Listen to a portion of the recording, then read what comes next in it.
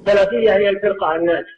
هم أهل السنة والجماعة. السنة والجماعة هل تجوز الصلاة في ثوب استفرغ عليه طفل رضيع؟